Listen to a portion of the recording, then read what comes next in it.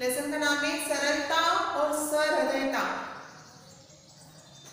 जिसमें यह विचार होते हैं या भाव निहित होते हैं, वह व्यक्ति महान होता है। जैसे कि इस कहानी बताया गया, वह नौकर बचपन से उनके घर में घर काम करता था। मतलब कि बचपन से ही उनके यहाँ काम करता था। अब वह बूढ़ा हो गया था। उसने घर के बच्चों को अपनी उंगली पकड़कर चलना सिखाया था। अब वे बच्चे बड़े हो गए। मतलब कि एक नौकर था जिसका बचपन वहाँ पर काम करते करते निकला है और कब उसे बुढ़ापा आ गया उसे इस बात का पता ही नहीं चला और उसने घर के बच्चों को अपनी उंगली पकड़कर चलना सिखाया अब जब अब वो बूढ़ा हो चुका था अब जिस घर में वह रहता था उस घर के बच्चों को उंगली पकड़कर वह चलना सिखाते थे अब ये बच्चे वे भी बड़े हो गए थे वे बच्चे ऊँचे ऊँचे पदों पर पहुँच गए पढ़ लिखकर अच्छे ऊँचे पदों पर पहुँच गए पर इस बूढ़े काका के प्रति सबके मन में स्नेह और सम्मान की भावना थी मतलब सभी उनका सम्मान करते थे, सभी उनसे प्रेम करते थे। सब उन्हें अपने परिवार का एक सदस्य समझते थे। क्योंकि बचपन से ही मतलब बाल्यावस्था से ही वो वहाँ कार्य करते थे। तो सभी उनसे स्नेह करते थे और उन्हें अपने घर के सदस्य की तरह ही मानते थे। एक नौकर नहीं मानते थे, वे उन्हें अपने घर का सदस्य मानते थे। परिवार वाले चाहते थे कि बूढ़े काका अब कामकाज बंद कर दे क्या कहते थे कि अब आप कामकाज बंद कर दीजिए और शेष जीवन आराम रही है। पर वे मानते ही न थे। वे घर की सफ़ाई झाड़ू पोछा और कमरों की देखभाल खुद ही किया करते थे। एक दिन बूढ़े काका अपने बाबू के पढ़ने के कमरे की सफ़ाई, कमरे की सफ़ाई कर रहे थे। मतलब कि इनका जो बूढ़े काका जिसे बाबू कहा करते थे, बाबू कौन थे? राजेंद्र प्रसाद थे। तो जिसे वह प्रेम से बाबू कहा करते थे तो उनके पढ़ाई के कमरे की सफ़ाई कर रहे थे अपने बाबा के एक एक सामान को उठाते, उसकी धूल पोछते और उसे यथावत स्थान पर रहते थे। रख देते मतलब कि उनके कमरे की एक एक चीज़ की वह सफ़ाई खुद किया करते थे और उन्हें उनके स्थान पर रख देते थे। अचानक न जाने कैसे उनके हाथ से एक बहुत ही कीमती कलमदान टूट गया, जो कि बहुत महँगा था, कीमती था। कुछ साधारण कलमदान नहीं था। मतलब कि कलमदान होते पर वह साधारण नहीं था बहुत ही महँगा था और कीमती था वह कारीगरी का उत्कृष्ट नमूना था बहुत कीमती तथा दुर्लभ भी था कीमती मतलब कि बहुत महँगा था बूढ़े काका जी टूटे हुए कलमदान को एक टक तकते रहे। मतलब कि कभी उनसे इस प्रकार से नुकसान नहीं हुआ। लेकिन आज सफ़र क्या उनका क्या कहना है कि आज जब मैं सफ़ाई करना था तो ये मुझसे कैसे हो गया? इतना कलमदान इतना कीमती कलमदान मुझसे कैसे टूट गया तो वह दुखी हो गए बूढ़े काका जी टूटे हुए कलमदान को एकटक देखते रहे उन्हें कुछ सूझा ही नहीं कि अब क्या किया जाए उन्होंने चुपचाप वह टूटा हुआ कलमदान उठाकर मेज पर रख दिया। जो उनसे टूट गया था, वह उन्होंने कहाँ पर रख दिया? मेज पर रख दिया। वे बहुत घबराए हुए थे, बहुत घबरा गए कि अचानक उनसे सफ़ाई करते करते करते मतलब ये नुकसान कैसे हो गया? ये कीमती कलमदान कैसे टूट गया? बापू आएँगे तो उनसे क्या कहेंगे?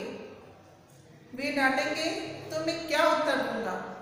जब वे मुझसे पूछेंगे कि कैसे टूट गया तो मैं उन्हें, क्या उत्तर दूँगा? ऐसा कीमती कलमदान तो अब मिलेगा भी नहीं? कितना दुख होगा बापू को यही सोच सोचकर उनका दिल देखा जा रहा था क्योंकि उनका बाल्यावस्था से मतलब उनका बचपन ही वहाँ से वहाँ पर काम करते करते निकला। लेकिन कभी कोई उनसे गलती नहीं हुई लेकिन जब वह उनके कमरे की सफ़ाई कर रहे थे पढ़ते हुए कम, जिस कम, कमरे में डॉक्टर राजेंद्र प्रसाद पढ़ाई करते थे जिसे वह बाबू कहा करते थे उस कमरे की सफ़ाई करते ही वहाँ पर उनसे कलमदान हाथ से छूटकर नीचे गिर गया और टूट गया। अब सायकाल मतलब जब शाम का समय होता है तो बाबू आए भोजन के उपरांत अपने कमरे में पहुँचे ही थे कि उनकी नज़र टूटे हुए कलमदान पर पड़ी। वे इतने कीमती कलमदान को टूटा हुआ देखकर बहुत दुखी हो गए। जैसे वह अपने कमरे में आए, आते ही उनकी नज़र कहाँ पर पड़ी? टूटे हुए कलमदान पर पड़ी और उसे देखकर उन्हें दुख हुआ कि यह कैसे हो गया। उन्होंने उसे उठाया तो देखा उसके दो टुकड़े हो चुके थे। उन्होंने बूढ़े काका को आवाज़ दी। काका काका, इस प्रकार कहकर उन्होंने आवाज़ दी और उन्हें बुलाया। बूढ़े काका ने डरते हुए कमरे में प्रवेश किया। आज किसी से कुछ भी नुकसान होता है तो वह एकदम से घबरा जाता है और जबकि वह चीज़ महँगी हो और कीमती भी हो। यह कलमदान किसने तोड़ा है? क्या कहा? बाबू ने कि यह कलमदान किसने तोड़ा? तो बूढ़े काका क्या कहते हैं यह कलमदान तो मुझसे टूट गया है मालिक। तो उन्होंने कहा, कैसे? मैं सफ़ाई कर रहा था कि अचानक हाथ से छूट गया। जानते हुए कितना कीमती था? ऐसा दूसरा कलमदान और कहाँ मिलेगा? क्या कहा उन्होंने कि कलमदान बहुत ही कीमती था?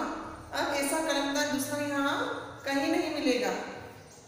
बूढ़े काका का सिर बूढ़े काका जो वह कहते जा रहे थे, बाबू उनकी बात सुनते जा रहे थे कि किस प्रकार से सिर नीचे किए हुए। तो अब खड़े खड़े मेरा मुँह क्या देख रहे हो? जाओ यहाँ से। इस प्रकार से उन्होंने कहा। उन्होंने गुस्से गुस्से में बूढ़े काका से क्या कहा? अब यहाँ खड़े खड़े मेरा मुँह क्या देख रहे अब यहाँ से तो जाओ। बूढ़े काका को भी दुख था कि उनसे कीमती कलमदान टूट गया है। इसलिए उनसे भी गलती हुई है। लेकिन बाबू, जो कि राजेंद्र प्रसाद ने क्या कहते हैं कि अब यहाँ खड़े मत रहो तुमने नुकसान तो कर ही दिया है। जो टूटना था वो टूट भी गया, अब तुम यहाँ से चले जाओ। इस प्रकार डांटते हुए उन्होंने कहा और बूढ़े काका चुपचाप से सिर नीचा किए हुए वहाँ से चल दिए। आज का ये पार्ट वन कंप्लीट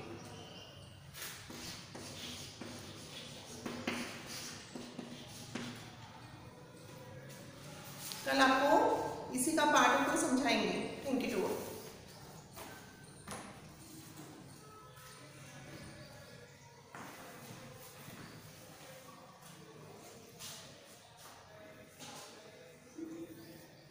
चौबीस ऑर्डर टू भी बनाई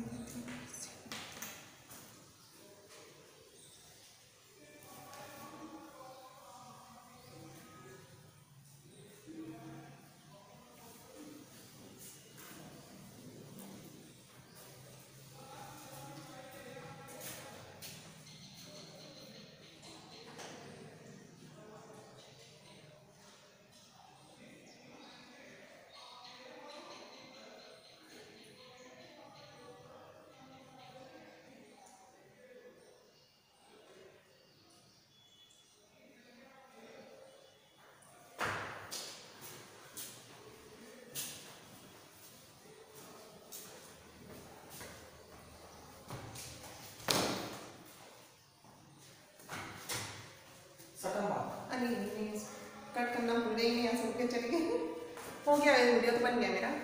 नहीं है, मैं कट कर दूँगा?